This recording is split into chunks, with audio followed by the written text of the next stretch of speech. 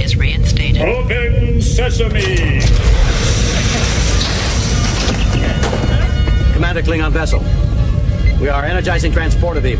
Now.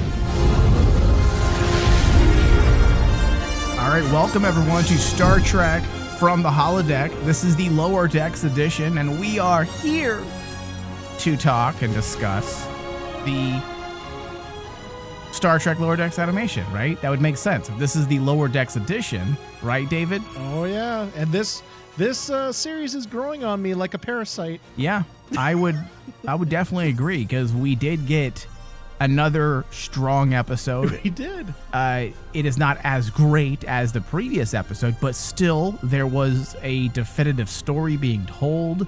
Uh, there was the fleshing out of characters. Everything that we would expect from a TV show, they did it. And Miracle of Miracles, Mike, they made me like Mariner. Uh, yeah, I also, Wow. I also agree with that as well. So this episode, titled "Cupid's Errant Arrow," was directed by Kim Arndt and written by Ben Joseph. The synopsis: Mariner is suspicious of Boim Boim Boimler? Blur's Boimler's new girlfriend. Tendi and Rutherford grow jealous of a bigger starship's gear. Yeah, Dave, I definitely say we're on a roll, but I'm gonna put some question marks behind that. Okay. This episode was good. I know I enjoyed it. As I said, not as strong as the previous, but still something to be proud of for sure. Yes.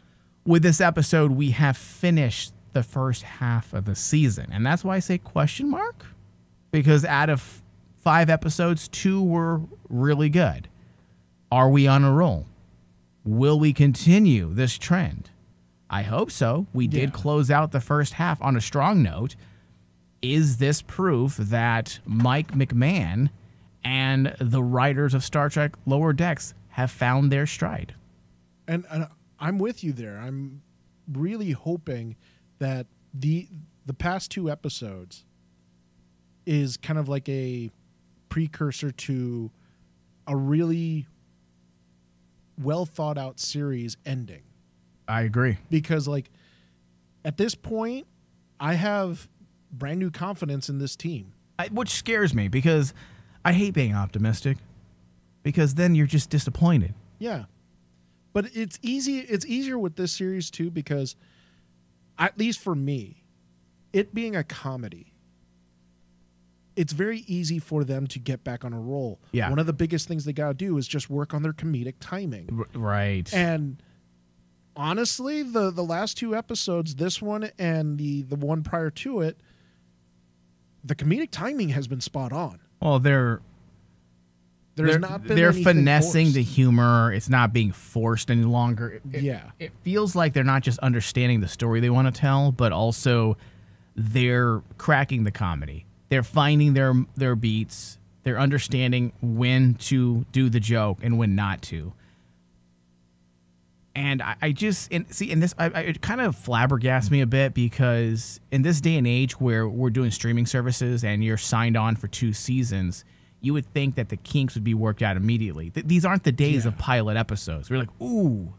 I mean, yes, we still get pilot episodes, but they're starting to slowly and slowly becoming a thing of the past yeah this isn't a pilot type of thing. You're not dealing with the oh wow that was that was rough. Uh, but you know the second episode was much stronger because they understood the story. It was no longer just simply a promotional tool to entice the executives at a network. We're dealing with streaming services. yes Star Trek Lower Decks was signed on for two years from the get go. So it makes you wonder what happened. Like, did they just say "eff it"? We finally found our stride in episode four. Just let's go with it. So and, and honestly just like what you said if this was like a series that was brought out like five years ago this that would be fine right, because you would understand. you'd understand Yeah. and But, all, but they have time with a series like this. Like, oh shit, It's different now. Coronavirus also slowed things down. They had tons of time Yeah. to rework things. tons of uh, tons of tons of opportunity. Yeah. So, thankfully, I don't want to get into negative territory, but thankfully, it seems like they have worked through those growing pains. Oh, yeah. And Lower Decks is doing what we wanted it to do. It's taking risks and being more than just simply a parody. It's building its own mythos, fleshing out not just our characters, but the Cerritos itself. Yeah, the Cerritos, the entire crew. Well, it's this is- not just about the four main characters of Mariner, Boimler, Tilly, and Rutherford. Yeah. we finally got to actually. It's about the crew, the crew of the Cerritos. Well, this, yeah, I would agree, definitely. But I'm also specifically talking about the Cerritos as a ship. Yeah, this is an too. important one for me because the importance of our locale, the ships, or even in, in the case of Deep Space Nine, the station, they are characters. Mm-hmm. And we need to learn about that character and what makes them tick. And we'll get into this a little bit more in a moment. But I'm actually happy with this show, Dave, and I don't know how I feel about being happy because I'm a person who's just not happy about a lot of things. A lot of things, And the fact that I push play and I fucking laughed my ass off during various moments of the episode when Mariner walks in on Boilemer naked. I was fucking rolling. I was like, oh shit, that reaction that uh, Quaid awesome. did. I mean, dude, I mean, that would be, I'd be, I don't think I can do that as an actor. As an Just squeal and scream. Just squeal and scream, yeah. Because I was like going, you know, the the they made Boy, uh, Boimler in this one. Yes. They made him more personable in this episode because we could actually relate. Rather than just him. simply being the butt of the Yeah, joke. the big butt of the joke. Yeah. you, you actually have character development with Yeah. him, and I'm like going. I felt like Mariner, where he's like, you know, he's an idiot, but he's he's actually probably the most lovable idiot in this episode. Yeah. because you know the things that he was going through is a, atypical, simple things that any human being would go through, and that's what I really appreciated about this episode is like they didn't like blow it out of proportion. Like I think they would have if this was like still the same kind of uh, frenetic energy they had in episodes two and three Yeah. it would not have worked here. But because they downplayed it and kind of more or less made him more of a real character, Well, it's comedy with purpose, it's Dave. comedy with purpose. Yeah. And and and I think that's what was the problem with the opening three episodes. There was no purpose behind it. There was no comedy with purpose. This is comedy for the purposes of understanding our characters and fleshing them out Yes. and moving a story forward. When you look at what was actually happening in this episode, it's actually pretty fucking smart. The plot included three distinct stories running parallel. That's some fucking writing right there. All of this within 30 minutes. Under 30 minutes. You had Mariner and Boy- Boimler. Boimler. Tindy and Rutherford, and then you had Captain Carol Freeman's story. Dude, her All of story this- was, her story made me laugh when Yeah. it started off. Her story was really good, and all of this, Dave, in under 30 minutes. This is how you write a fucking episode of TV, mm-hmm. whether it be a cartoon, live action, comedy, or drama. Yeah. It all worked. And the Mariner and, and Boilemer stuff, Boimler. eventually I'm going to get it. the Mariner and Boimler stuff was probably the heart of the episode as we continue to find reasons why we should like Mariner. Yes. This is something you and I both struggled with since the very beginning. Why are we watching her? Why is she the lead? Why do we care? And this episode presented a solid case we saw that Mariner really does care about something and others. Yes. It was a bit of a fuck you to Boimler. No way could she like a guy like you, but it still works. The fact that Mariner is so flabbergasted that she's sure she's so flabbergasted that a woman of quality would like Boimler that the entire thing unfolds in a comedic fashion, that Fashion. works to express her care for this character. Well, the uh, also the awesome part that they did was I think if they didn't do this one particular scene, I think the whole joke would have felt flat. But because they chose to actually show that flashback sequence, and I know me and you hate flashbacks, But in this regard, it only took two minutes. Yeah, for a series like this, it's okay. Yeah, for this, Yeah. it actually helped because beforehand I'm like okay, Mariner's just being a dick because she has no no confidence in Boimler.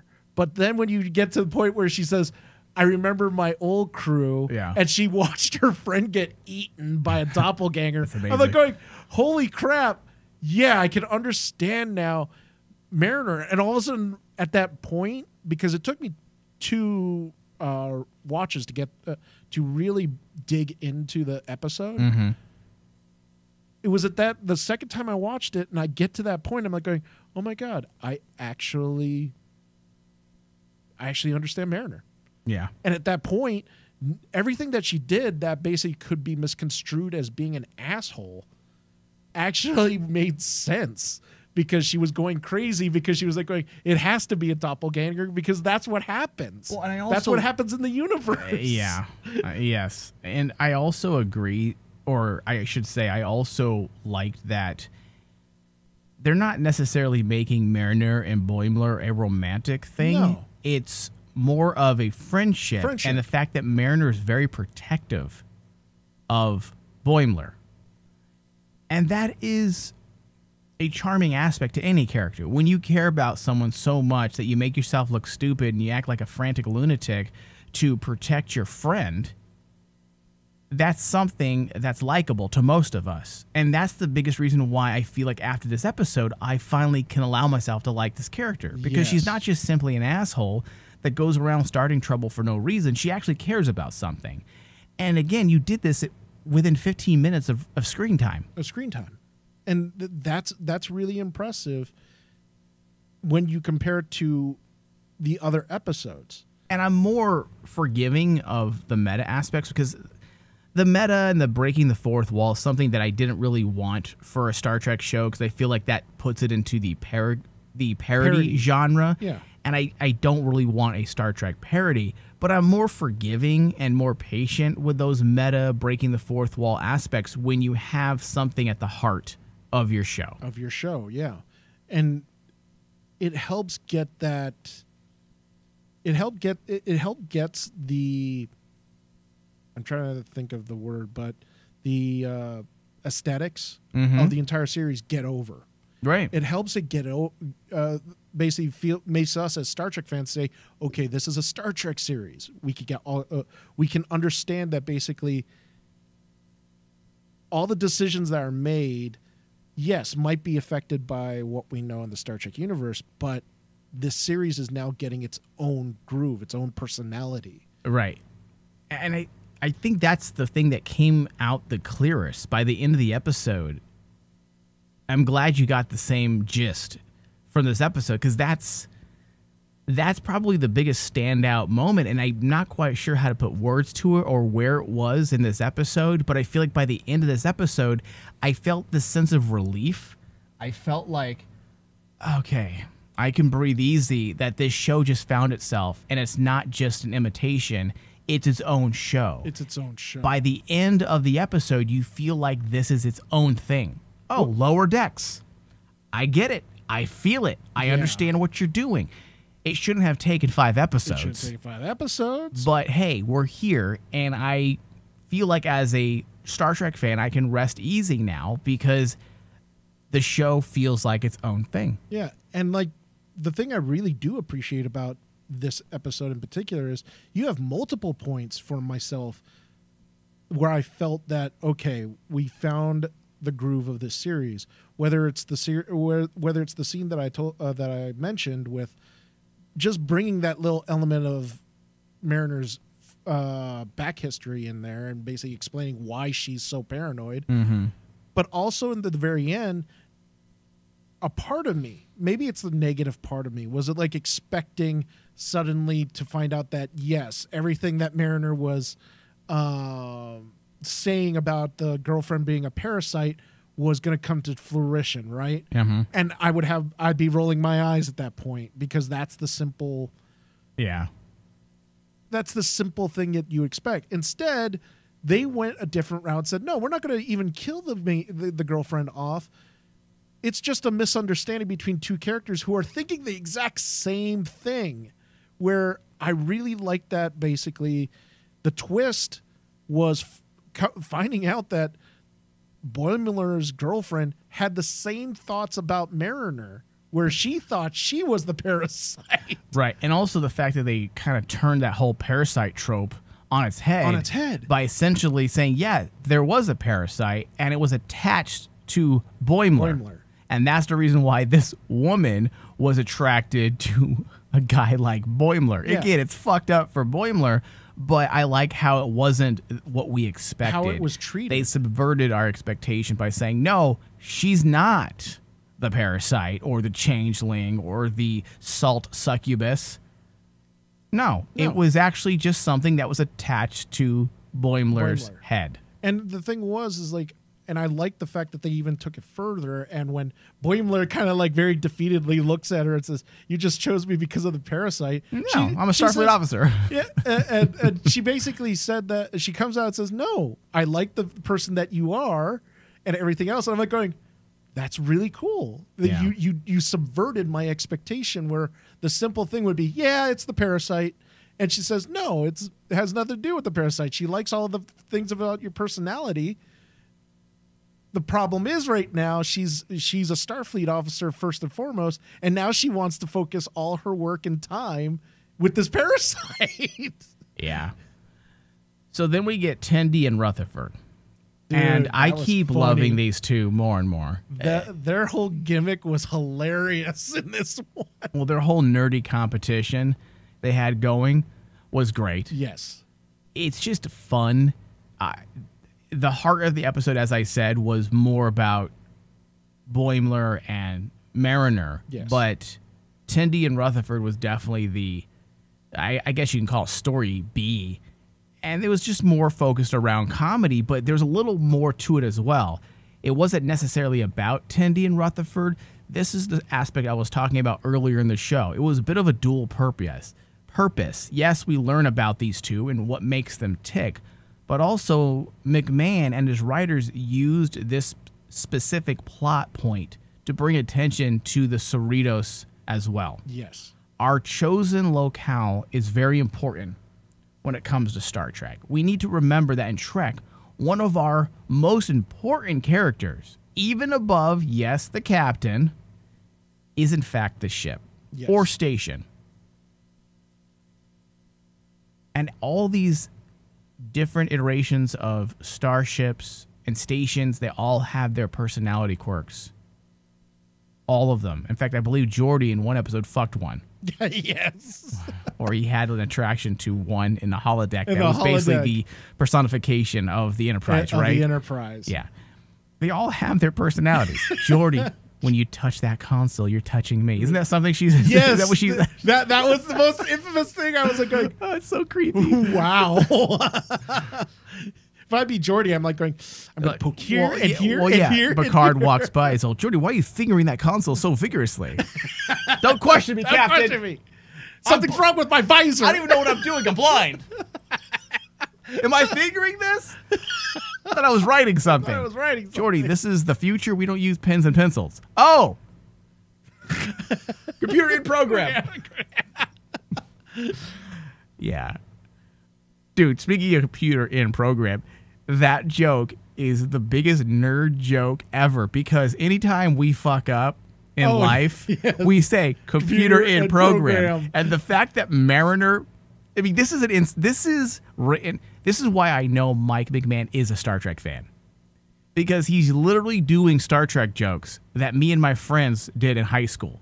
Whenever something embarrassing happens, you say holodeck in pro or computer in program. program. And the fact that Mariner, when she can't believe that this hottie likes Boim- Boimler, Jesus, I keep stumbling over that word, Boimler, and she can't figure it out, so she says computer in program as if they were in a holodeck was fucking amazing. Oh yeah, it was. That's what, and that's what I mean. The comedic timing in this episode was really spot on. Yeah. And I like the fact that it all didn't fall on one character to make that character look like an idiot.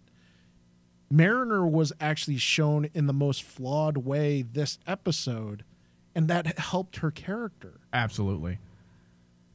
So yeah, so bringing it back to lower decks, I, I want to say they essentially put the Cerritos on display, and they this one in particular- contrasted it with the Vancouver. That's Yeah. why they even had this other starship there Well, dude, the, the, first the first shot was I thought was genius because I noticed it in the second go around. Mm-hmm. Was you have the shot of the Cerritos, which is right above the moon, and suddenly the Vancouver just hovers right above Right. it to to kind of show that the Vancouver is a far superior ship than the Cerritos, and the Cerritos looks like this insignificant little, you know, ship Wh- among which- all these other ships. which is the point. Yeah. Obviously, even it's the point of lower decks. You get the idea that the Cerritos may feel like it can't take the strain of space, Of space. and or missions at times, but at the end of the day, it's a welcoming home. That's the reason why Tendi and Rutherford wanted to stay. Uh, There's a sense of comfort of being aboard a quieter vessel. Vessel. And one thing is very clear by that analogy that you brought up that they actually embedded into the show. The Cerritos is written within the same archetype as the rest of the lower decks crew. yes. He doesn't shine. He's not that great. But I will get the job done. It'll get the job done. The Cerritos was characterized in this episode. And now suddenly all is right in the world of Star Trek, in my opinion, when it comes to this show. Because that is what Star Trek has always done. Yeah. They characterize the ships. the ships with the crew Yeah. because not just and the thing that I thought was brilliant was in this episode not only did the four main characters Tindy Rutherford Boimler and Mar- Boing? Boim Boimler and Mariner those those uh, the the ship is a personification of them Mm. but I thought it was really important to show the rest of the crew and to personify the Cerritos towards its captain Yeah, you needed to do that. oh, that's why I thought it was genius that the Yeah. third story dealt with Mariner's mom trying to be a captain, and she has to deal with this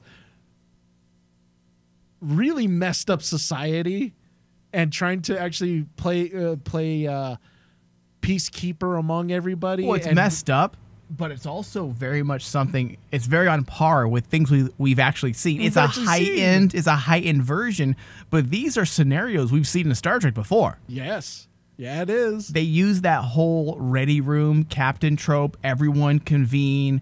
Let's figure out the pros and cons. Do we save this alien species or let nature take its course? Do we risk the lives of one for another? I mean, they had the entire, in a comedic way, they even posed a philosophical question in comedy form. Yeah, They had it all in this episode, Dave. This is Mike McMahan finally showing us, finally, and the last episode, but finally getting to the point of, yes, guys, I know what I'm doing. Chill out. I've always been a slow learner. That's why the first three episodes were a little rough, rough. but I always come out on top. So get ready. So I'm actually really excited moving forward into episode six. And, I understand why you said in the beginning of the show why you're very hesitant because it's kind of like we're so we started off on such a bad foot. Now we're like going, when's the next shoe gonna drop? Right. But like after this, I I'm going to try to be more positive with the series Yeah. and say, you know what, let's give it a shot. Well, I'm It also gonna- two good episodes in a row. I'm also going to be more forgiving now too. Once you prove that you can do something, I'm less quick to jump all over you about something that I may not agree with. Yeah. And that's a good place you want to be when it comes to Michael Flores and David Zabal on Star Trek from the Star holodeck. Trek. We give everyone the benefit of the doubt. We may jump on you a little too soon at times, but the moment you show us, um, the moment you flex on us, we appreciate that muscle. We appreciate it. Yeah. All right, let's go to a very quick break, Dave. And then when we get back, let's jump into callbacks and Easter eggs. Hopefully Yeah? some hopefully some real Easter eggs. While we're at break, Dave, can you bring up a list of Easter eggs and we'll just kind of run through them? I'm sure there's some blog that put out some shitty Easter eggs, yeah, sure. and you and I can go through that list and decide which ones we agree with and which ones we don't. Will do. We'll be right back. All right, everyone, make sure you pledge to our Patreon page. You can get more Star Trek from the holodeck discussions every single month by subscribing. Head over to patreon.com slash rainmandigital and pledge $5 or more a month and gain access to a plethora of Star Trek discussions, including our Star Trek pre-shows that we do. Pretty much before every single show, we do a secret discussion about various topics pertaining to Star Trek. So head over to patreon.com slash rainmandigital and pledge. All right, welcome back, everyone, to Star Trek from the holodeck. Hello, David. Hello, everyone. All right. So we are here and we are going to jump into Easter eggs. Do you have that list for us, Dave, or did I come back too early? No, I have a I have a Easter egg list right in front of me. I'm losing my voice, so go ahead and go through that list. Okay, uh, let's just jump. Uh, uh, jump. Let's jump right into this one. Or we can jump. That's fine. So the first one that they bring up is the one as real as a hopped up Q on Captain Picard Day. Boimler says his new girlfriend Barb is as real as a hopped up Q on Captain Picard Day. okay, is that a reference or an Easter egg? Well, of course, uh, they basically go on and say that the reference is to Q. Okay, but I would say that's a reference, not an Easter egg, right? Yes. Yeah. And then the Captain Picard Day is is a reference to uh, the episode of the Pegasus where they find out about Captain Picard Day. Right. And also Chabon used that And in Chabon Picard. used it in, res- I think it's remember. Hey guys, I watched one episode of TNG. This was it. Now the the one they do mention Mm-hmm. is the one that you mentioned uh, prior to the break. Oh, okay. Which is Love on the Holodeck. When Mariner Oh, did they accuses- really? Yeah, Boimler of having a holodeck girlfriend. Oh, that's amazing. He protests by saying, "I don't do that anymore." so that one's actually a good one, and also they mention about like the whole computer and program. That's amazing. That's the best. So I would actually, I, I, I would throw that as an Easter egg. Okay, fine. I, I probably wouldn't, but you can. I'll let you have the executive call on that. I would, I would say that that's an Easter egg. Okay. The next one they have is the Geordi LaForge teddy bear. what? The basically the teddy bear that uh, Boimler is carrying is a uh, Geordi LaForge teddy bear from the TNG era. Huh? It it's supposed to be Geordi. Uh, it's supposed to be a, an actual toy that was released for the TNG era. Huh? Interesting. Okay. Well, if that's the case, that's definitely an Easter egg. And uh, the Phylosian is another one. Mariner offers to set up Boimler with a Phylosian who works on Cerritos and mentions she seems like a nice plant person. Phylosians are plant people. This race of plant based aliens originated in the episode. That's not an Easter egg. That's continuity. That's continuity. All right, go ahead. What's the next And one? Would they you agree with that? Would you agree with me on no? yeah, I, I would agree with Okay. you on that one. That's like saying every time there's a Klingon or a Romulan, oh, that's an Easter egg. Like, no, that's a species that lives in the world of Star Trek. That's called canon. That's called continuity. And it's, I think the next one on their list too is also kind of like a continuity thing. Okay. Because they basically mentioned the 19 mentioning 1920 Chicago. Barb references to being stuck in the 1920 Chicago. Yeah, that's a reference to the Picard, TOS right? to a piece of the action in TNG. TOS. That's Wait, the the famous. Oh yeah, yeah, yeah, one. yeah, yeah, yes, yes, of course. We covered the comic book version of that, right? Yep. Isn't that? Yeah, yeah, yeah. Uh, I don't know if I would consider. I think that's more continuity than an Easter egg. Kind of reference, I guess. I'd call it a reference. And then I think these people are just dying for clicks that they're calling everything an Easter egg. it seems like it because the last one that they have here is hunky Trek dudes. Uh, intimidated by the hot hunk named Jet, Boimler uh, says the guy is like Kirk sundae with the Trip Tucker sprinkles. Hmm. See, uh, that's just that's parody. That's that's parody. and breaking the fourth wall. That's not.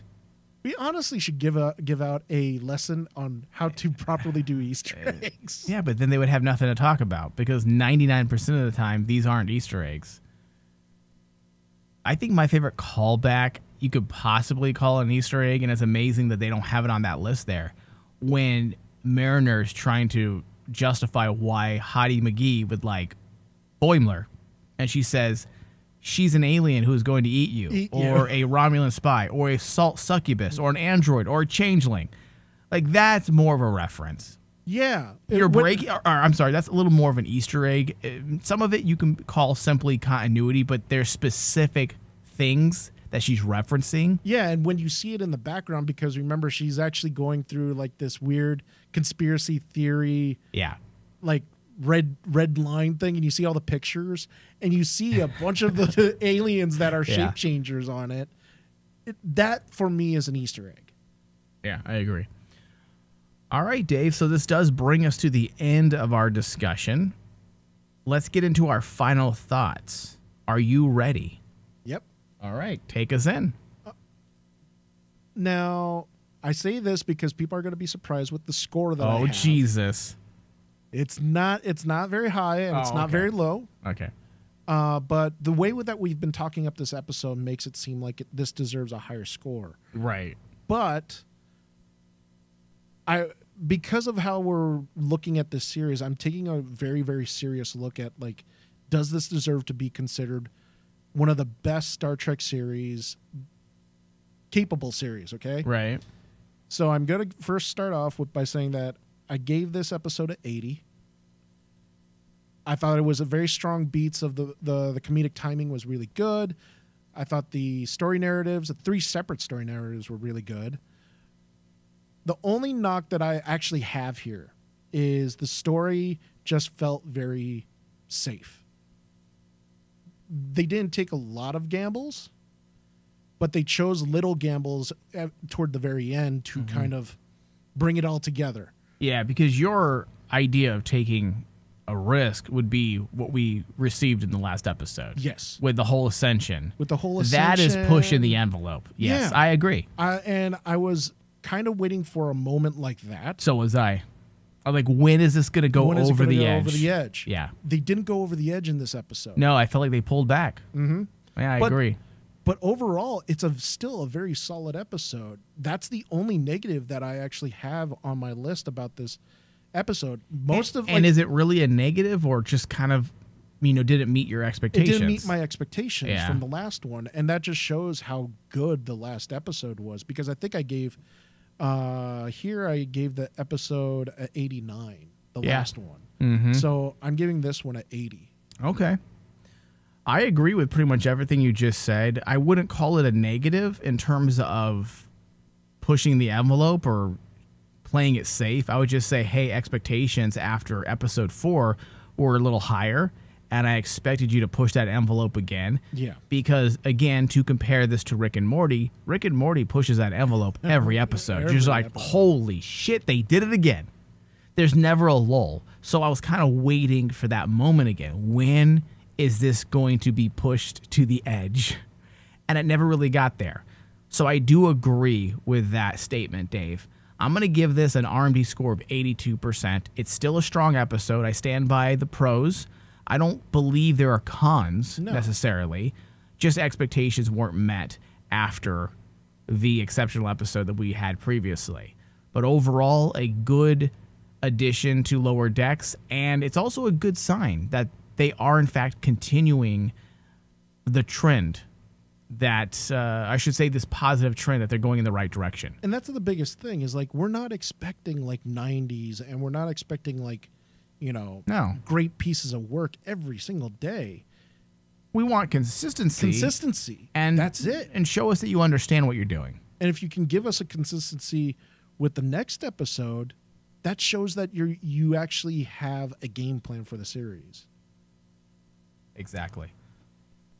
All right, so this does bring us to the end of our discussion. I want to thank everyone for listening. Be sure to find us on iTunes, Stitcher, Google Play. Just search Star Trek from the holodeck. Give us a review. Like those links. We need your help. Thank you. Thank you, David. thank you live long and prosper